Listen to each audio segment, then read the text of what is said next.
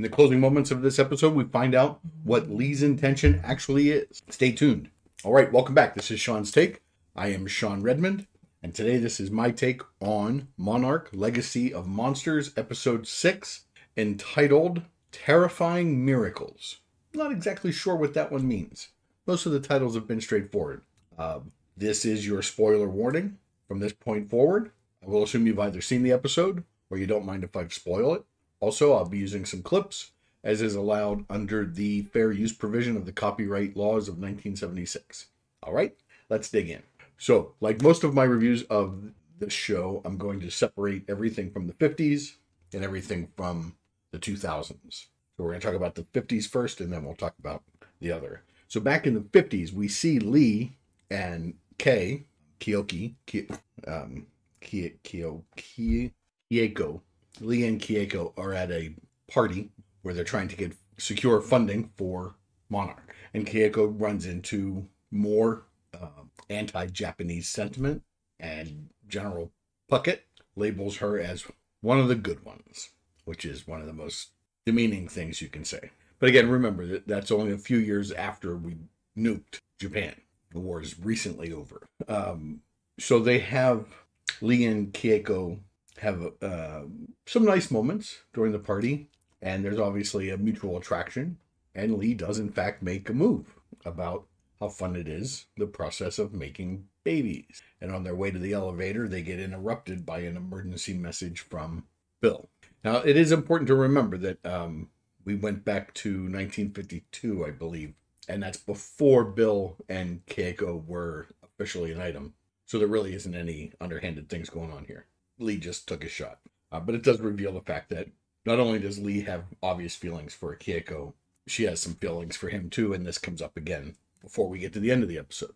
When they get back to Bill, we find that he has found a signal, uh, a marker to know where the Titans are or going to be. And he's picking up signals from Japan, so they have to go. And once they get to Japan, we meet a new scientist. I didn't write down his name, but I, I liked the character in that it reminded me of the scientist guy from every Godzilla movie ever. You know, from Godzilla and Mothra, you know, all the way along. There's always that guy. And now here he is in, in Monarch. And he's created a Titan communicator that can call Titans. And it does it by, I believe, mimicking uh, the radioactive wavelength. So Lee goes to Puckett and says that he should go accompany Bill and Keiko in Japan, and he gets a lecture from Puckett about how he has to make some decisions and that he can't be gallivanting around the world. He has to decide what his priorities are. We get to Japan, and Lee shows up. And when Lee shows up, he's not in uniform. So it seems like he made a decision. It's a pretty big decision. So they turn on the communicator.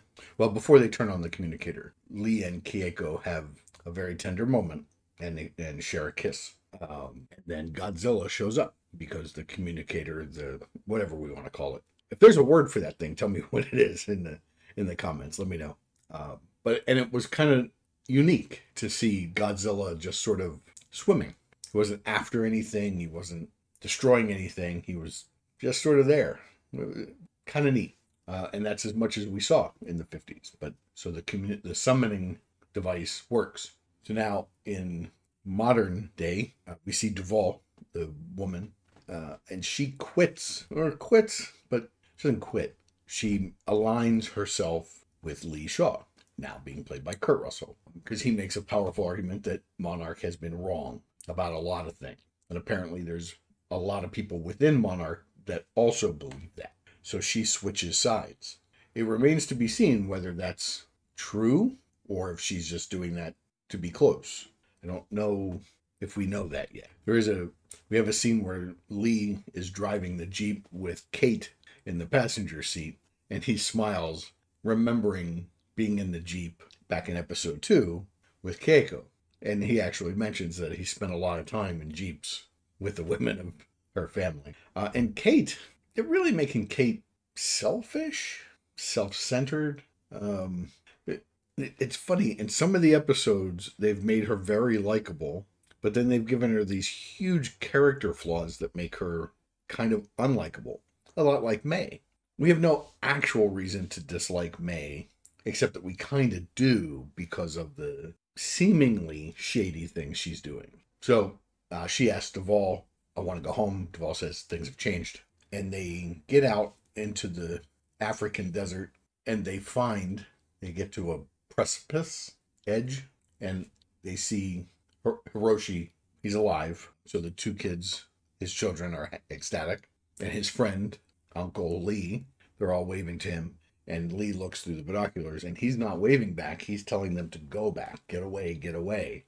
And he has a truck with what looks like the Titan summoner on the truck. He jumps into the truck and drives away, just in time for Godzilla to wake up and stand up. And now Godzilla has been sleeping and is completely covered in dirt, sand. And the act of Godzilla standing up causes complete chaos and almost kills everybody. And Godzilla looks directly at Kate. Kate looks directly into Godzilla's eyes. Eye. And then Godzilla walks away. Maybe because Hiroshi turned on the summoner. Maybe he saw Kate and there's more there. We're only on episode six.